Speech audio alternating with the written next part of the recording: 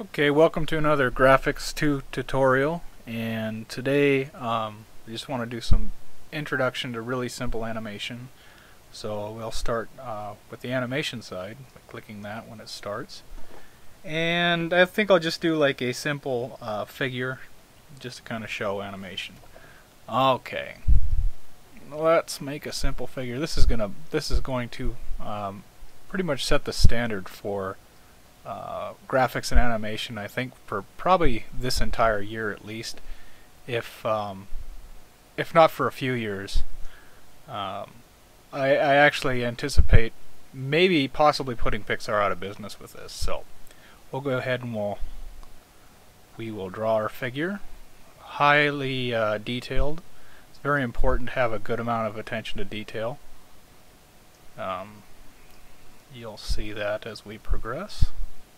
Okay, so down here are the animation thing, are the animation controls, and we've, well, you haven't. I've drawn this to the uh, to the first animation frame. You can see the frame number here, um, and then we're going to add another frame, and this will actually copy what we had on the previous one over. So now we're going to uh, basically make him kick his leg a little bit and clap.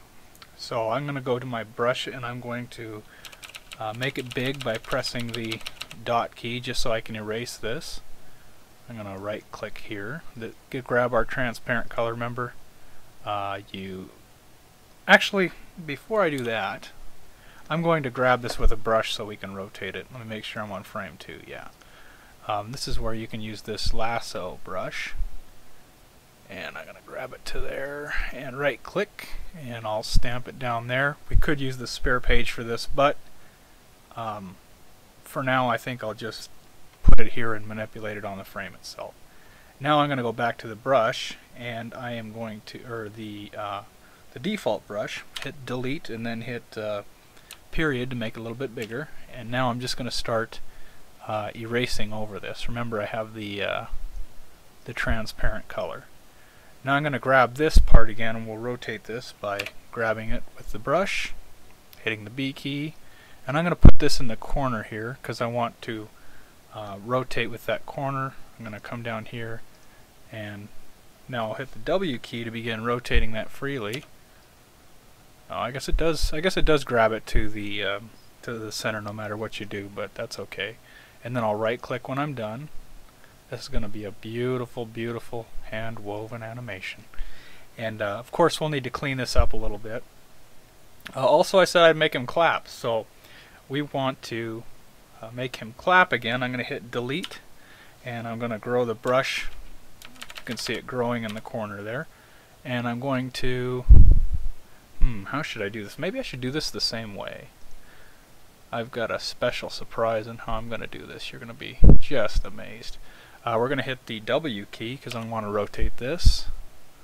And we're going to make it so the hands come together and I'll right click um, actually, I think, yeah, we'll do it that way. I'm going to hit delete to go back to my uh, normal brush. I'll grow it again so I can erase with it using a transparent color. He's actually going to be clapping behind his head today. Um, also, let's uh, let's use the uh, Bezier curve tool. Oops. First of all, I need to undo that with a U key. Uh, I need to. I'm going to grab this white color. I'm not sure where it is in the palette, so I'll just grab it. And I'm going to use the Bezier curve again. Um, hit delete key to go back because his arms are single pixel. I'm going to put one there, and since he's clapping around his head, look at that. See, he's clapping his hands and he'll be kicking his feet. So let's uh, see how it looks. There it is. He's kicking and clapping his hands. Oh, we got to get rid of this foot though. So I'm just going to use the um, this square, to square tool, I'm going to set the transparent color and go right over the top of it. Okay, so there's uh, some star quality animation. Let's set the uh, the speed for the frames and we can click the timer to get to that. You can see we can set speed per frame or we can do it for all frames. I think a good amount of milliseconds will be um, 500. And then when we save this, I'm going to go to my desktop here so we have a place to put it. Uh, I think his name is Bob the gnome. Okay, and make sure you're in GIF so it'll animate it. We'll save that. And I have to minimize this window so you can bring it so uh, you can see it, but I'll I'll bring it right back up here. I don't know if you can see my uh, my desktop or not. So I'm going to um, bring back GrafX2 and then I'll bring in the animation hopefully on top. Hopefully you can see that.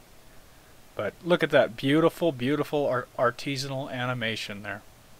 Um, so you should see my name basically, I think, uh, well, I, I, guess I won't be putting Pixar out of business because I think they're owned by Disney now. So uh, we should see that company just completely folding within the future uh, with this style of animation, completely revolutionizing everything. So, all right, thank you for your time. Uh, keep doing art and enjoy doing some basic animation now.